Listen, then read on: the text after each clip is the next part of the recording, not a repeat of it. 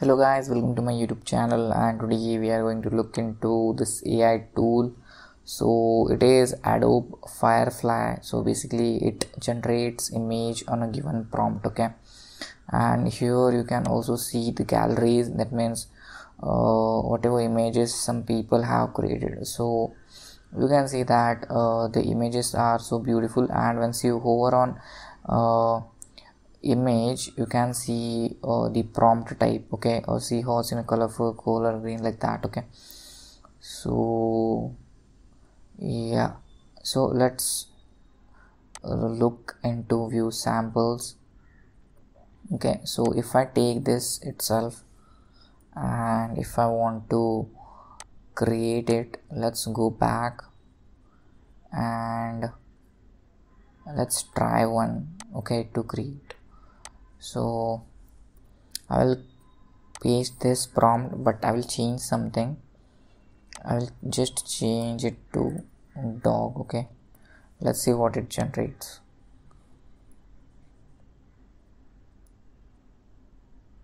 So let's wait for a while and look like how the image is generated.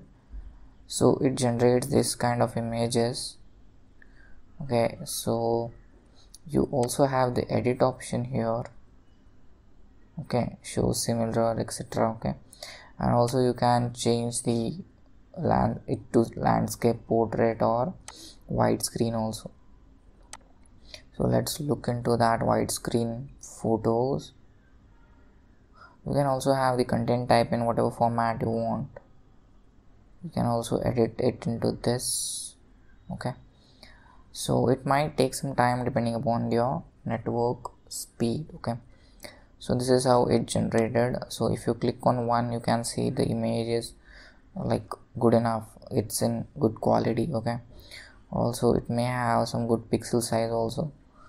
So i wanted to show you this platform which can generate good images. Quality images you can say okay so adobe firefly do check the check it out. This site to create the images you want okay? So yeah. So that's about it for today guys. So this was an ai tool which i wanted to show. Here there are some other options also like generative fill text effects okay? 3d image okay? So in exploration in this sense i think they are upgrading it okay? Uh, so you can try it out and explore it like some other features also okay?